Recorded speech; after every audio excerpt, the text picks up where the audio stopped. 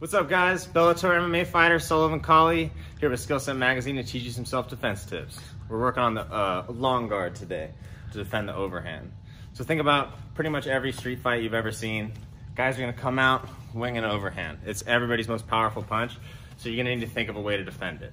My favorite way to do so is the long guard. So let's build a long guard.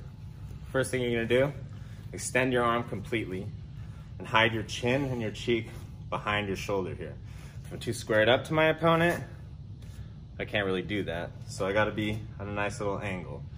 Now I'm gonna take the other hand, put it over my forehead to protect the other side of my face, and leave a nice window here for me to see through. So if I'm if I'm just blocking my opponent's forward mo forward motion or blocking straight punches, I can leave this guard right in front of his face. But the thing is, if I leave it right here and he goes to throw this overhand, I got nothing, okay? So you gotta find an angle a little bit off to the side to parry this overhand. What should happen is the punch should kind of just slide down your arm like a sword parrying another sword. So Jordan throws an overhand, slides down. From there, I can clinch and knee, or I can just block this punch, push and get away if you want to disengage, anything like that. So that's the long guard. Thank you guys for checking us out. We'll see you next time.